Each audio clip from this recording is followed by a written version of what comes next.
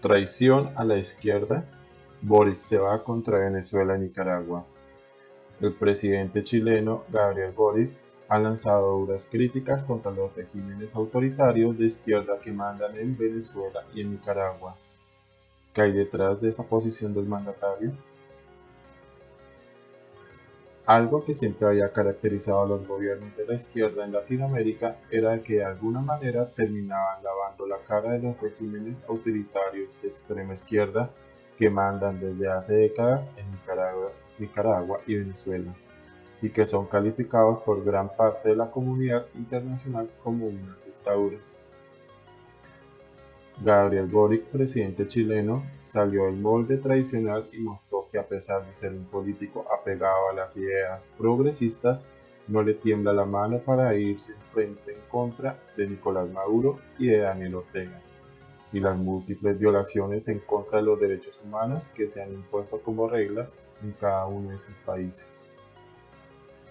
Me enoja cuando eres de izquierda y condena la violación de derechos humanos en Yemen o El Salvador, pero no puedes hablar de Venezuela o Nicaragua, declaró el mandatario en un foro de la Universidad de Columbia en Nueva York, en el que afirmó que la lucha por la defensa de los derechos humanos tiene que ser algo global y no solo en contra de los países que no están alineados ideológicamente con el gobierno de Turquía.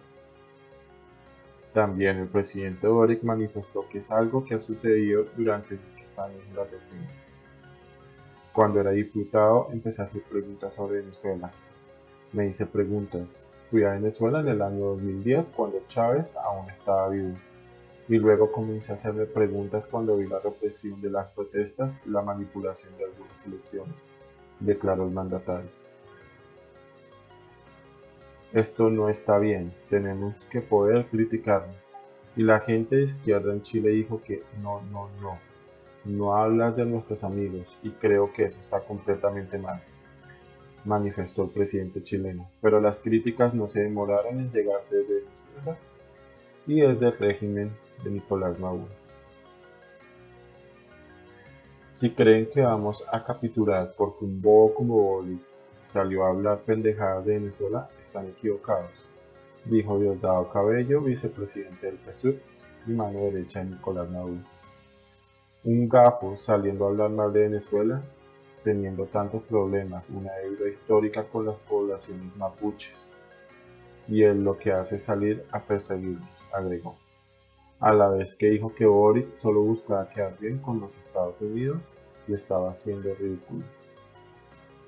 Aunque lo planteado por el mandatario chileno no es algo nuevo, parte de la región se ha caracterizado por quitarles peso a las acusaciones de violaciones de derechos humanos en Venezuela, en Cuba y Nicaragua, de parte de los gobiernos de izquierda.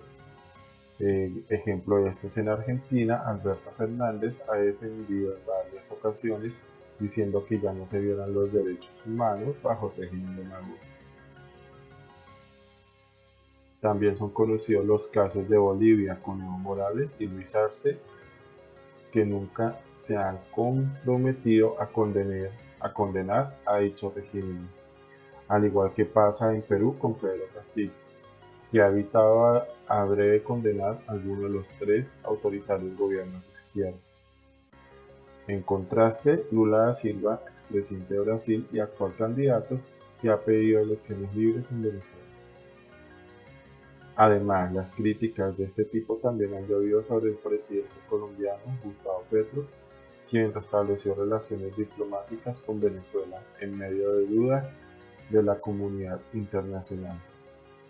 También dichos reproches contra la administración de Petro llegaron cuando su gobierno no condenó en su momento las violaciones de derechos humanos en Nicaragua. Esto a pesar de que Boric y Petro son mandatarios sumamente cercanos desde que el chileno fue elegido presidente en noviembre del año pasado. El presidente Boric, mientras tanto, parece empecinado en su lucha contra las posiciones más extremas de la izquierda en Latinoamérica.